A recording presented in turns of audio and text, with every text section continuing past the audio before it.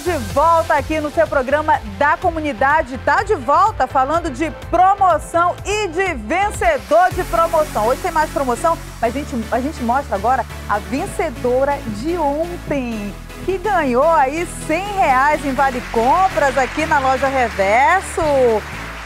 Palma, Tatiane, como é que foi ontem? Você ligou só uma vez? Como é que foi ontem? Na realidade não foi eu. A minha colega que ligou e ficou com medo de falar. Ah, aí eu me Deus. inscrevi no lugar dela e acabei ganhando. Olha aí, perdeu o prêmio, a colega. Perdeu o prêmio. Não Mas ela é? tá me assistindo agora. Tá com remorso em casa. não, na realidade ela tava com vergonha de vir. Ela, se ela ganhasse, ela não ia vir. Ia perder 100 reais Ia perder na 100 reais em reverso? compra. Ah, meu Deus. Agora você vai ficar ainda mais bonitona. Verdade. Onde é que é reverso, diretor?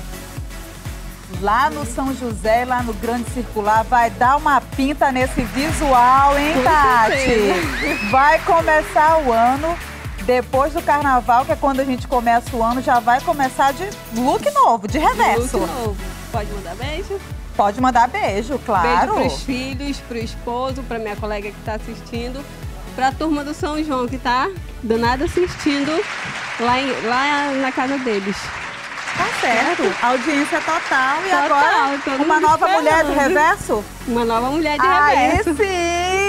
Eu queria ganhar esse prêmio, viu? Poxa. Tô, quem não queria, né? Né? Mas eu vou entregar pra você, Tati. Muito obrigada Obrigada por ter vocês. ligado pra gente, por confiar no nosso programa. E olha, a Reverso é top, é show de bola. Você vai ficar linda, Obrigada. mais linda ainda do que você Oh. já é. Não é? Com certeza. Vai continuar ligando pra gente? Com certeza. Vai continuar. Quer ganhar de novo, né? Com certeza. Tá certo, Tati. Obrigada. Muito obrigada, viu? Obrigada por estar aqui com a gente. E tá aí, fica lindona lá na Reverso. Estarei lá daqui a pouco. Oba! Olha o pessoal da Reverso. Espera aí que a Tatiana tá chegando, hein? Tô chegando. Espera São aí que ela tá José, Tô chegando. a caminho. Tá certo. Obrigada, viu, Tati? Obrigada mesmo. Um prazer te conhecer. E fica aí lindona. Tá bom? Hoje tem mais promoção, né, diretor? Peixaria do Almirante hoje. Ai, meu Deus, como eu queria esse almoço delicioso. Faz que nem a Tatiane, você que tá em casa, liga e participa. Pessoal que tá de folga aí, que não tá afim de ir pra cozinha fazer comida, se ganhar esse aqui, meu amigo, olha, um almoço para duas pessoas lá na Peixaria do Almirante é delicioso, gente. Ah, um peixinho assado hoje, nessa quarta-feira. Delícia! Uma caldeirada de tambaqui, hein, Ricardinho? Hein? Diga lá, é só ligar pra gente, é facinho. O telefone tá aí na sua tela, 3307-3950. É o número pra você ligar e participar. Eu tô doida pra entregar essa peixaria aqui do Almirante, esse almoço pra duas pessoas. E, gente, na verdade, tô doida pra ganhar, né? Mas como eu não posso, eu vou entregar aí pra vocês. Eu vou ficar esperando a sua ligação aqui pra gente é, para que você possa ter um almoço delicioso hoje na peixaria do Almirante. Liga para mim que eu tô te esperando. Daqui a pouco eu vou entrar ao vivo conversando com você aqui, tá bom? Bom, gente, agora a gente tem uma matéria especial sobre os 50 anos da Zona Franca de Manaus. A Zona Franca que é tão importante pra gente aqui na nossa capital, né? Que gera milhares de empregos no polo industrial de Manaus. A gente vai mostrar agora a reportagem especial sobre os 50 anos da Suframa na tela do Agora. Mais de 600 empresas. 86 mil empregos diretos. Um faturamento acima de 70 bilhões de reais por ano. São os números do polo industrial. Mais que um símbolo de Manaus é a base econômica da região, um dos mais modernos da América Latina, onde estão reunidas indústrias de várias áreas: eletroeletrônica, duas rodas, informática. Ele e os polos comercial e agropecuário formam a Zona Franca de Manaus.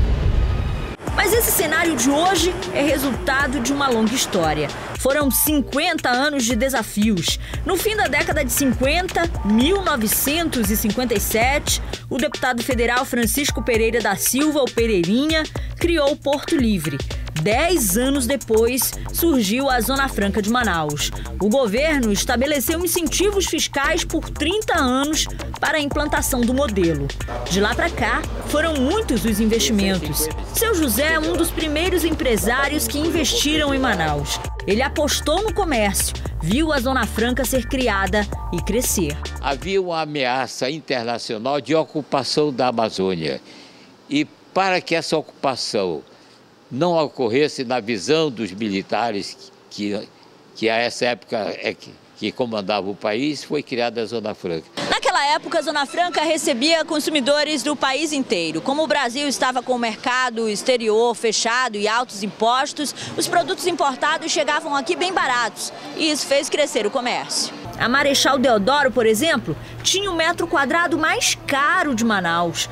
Todo mundo queria ter loja aqui e muita gente vinha de fora comprar produtos importados. Seu Francisco trabalhou nessa época, viu a Zona Franca crescer e muito. Eu peguei a época que tinha fila para comprar videocassete. Eu peguei a época em que eu vi hóspede dormindo na praça para guardar uma vaga em hotel. Eu sou da época do, do do aeroporto da Ponta Pelada, né? Onde tinha era muita gente, então isso aqui era uma loucura. Mas quando isso passou, foi preciso se reinventar.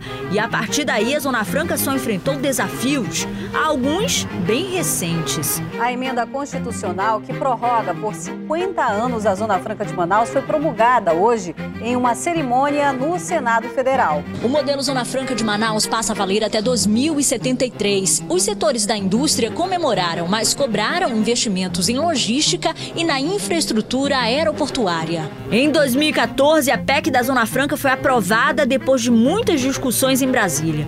Ela prorrogou por 50 anos os incentivos tributários concedidos às empresas instaladas no Polo Industrial de Manaus. Depois disso, uma das piores crises econômicas, que surpreendeu até mesmo este industriário. Ele acabou de se aposentar. Foram 35 anos de distrito. Foi onde eu vivi, foi o meu ganha-pão durante todos esses anos. Então é um polo industrial bom para aqueles que trabalham lá dentro é bom demais. Você deve muito, né?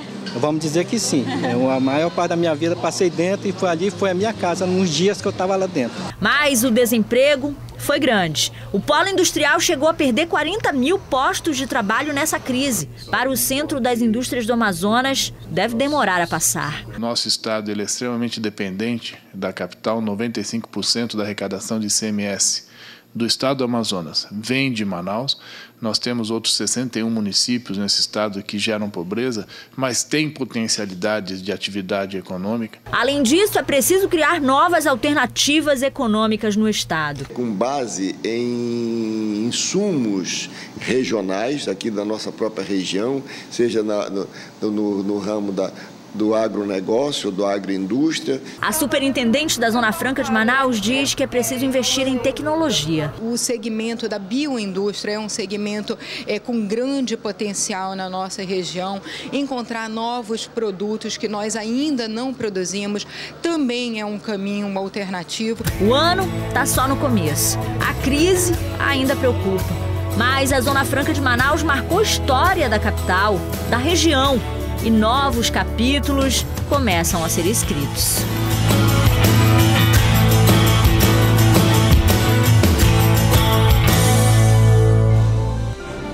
Beleza nossa Zona Franca, que venham mais 50 anos e que venha uma vida inteira desse ramo que causa aí, que gera emprego, que gera renda aqui no estado do Amazonas e que isso se estenda não só aqui na capital, mas também para o nosso interior, para os nossos caboclos, para os nossos ribeirinhos. Aí a superintendente falava em biotecnologia essa é a pedida. É isso que o governador do Amazonas também sempre fala nas suas entrevistas, que o investimento agora vai ser em biotecnologia para ajudar, para fomentar o pessoal que vive no interior do estado, usar as nossas riquezas naturais para gerar emprego, para gerar renda no estado do Amazonas. Pessoal do interior, né? É tão ali limitado, fica ali, vive da agricultura, vive da pesca, precisa de um incentivo maior precisa aí é, que tenha, que chegue até eles essa tecnologia para que tenham emprego, para que trabalhem em cooperativas, para que trabalhem em cooperativas, para que tenham aí é, o maior prazer de sonhar, né? Para que possam crescer, para que possam sair ali do peixinho, da agricultura e que possam voar muito mais alto sem precisar vir para a capital. Muita gente vem para a capital em busca de melhores oportunidades, mas nem sempre conseguem, né? É muito melhor que essas oportunidades sejam geradas lá onde você nasceu, onde você cresceu, no interior do estado do Amazonas, que é tão rico, né? É tão belo, é, tem tanta gente boa, trabalhadora. O nosso estado tem gente trabalhadora, viu? E que bom que a Zona Franca fique aqui por mais 50, 100 anos, por uma vida inteira, se Deus quiser. É o que a gente quer, né? É o que a gente deseja. E olha, um vídeo feito de dentro da unidade prisional de Tefé mostra dois presos lutando enquanto outros internos incentivam a briga, meu povo. Dentro da penitenciária, um dos detentos cai desacordado quando o outro aparta a luta e declara o vencedor. Agora, um ringue dentro da penitenciária. Vê se isso pode. E tem mais, o pior é que, segundo denúncias, o tal do clube da luta dentro da penitenciária vale dinheiro, viu? Rola dinheiro lá dentro da penitenciária. E isso acontece há pelo menos dois meses e o pior, com o consentimento da direção do presídio.